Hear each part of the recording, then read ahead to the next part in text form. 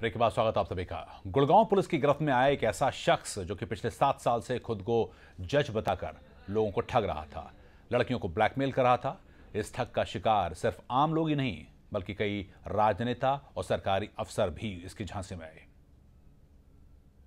Gurgaon police की गिरफ्त में आए आशीष का लिबास बेशक सफ़ेद हो, लेकिन करतूत बेहद काली और शर्मिंदा करने वाली है। अपने आप को चीफ जुडिशियल मजिस्ट्रेट बताने वाला ये शख्स एक बहुत बड़ा जालसाज है।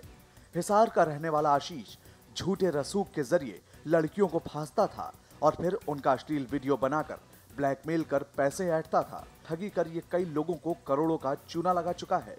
एक लड़की की शिकायत पर गुड़गांव सेक्टर 18 थाने की पुलिस ने आशीष को हिसार से गिरफ़्तार किया तो मामले का खुलासा हुआ।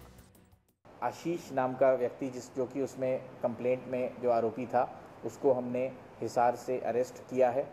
ये व्यक्ति जब इससे पूछताछ हुई तो पता चला कि यह व्यक्ति अपने आप को 2010 से यहाँ पर गुड़गांव में, हिसार में अपने आप को जज बता रहा है कि मैं जुडिशियल सर्विसेज़ में हूँ।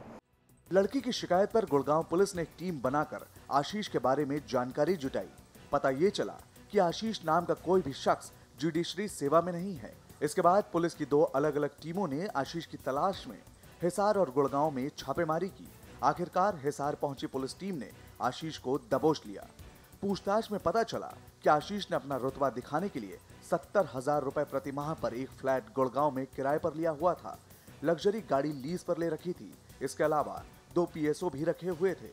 इसके रसूख का अंदाज़ा इस बात से लगाया जा सकता है कि कुछ अधिकारी अपने परिवार के साथ इसके यहाँ पार्टी में जाते थे। एक लड़की ने उसमें रिप्रेजेंट किया था कि मुझे एक व्यक्ति काफ़ी समय से मेरे को एक सीडी के नाम पे ब्लैकमेल कर रहा है।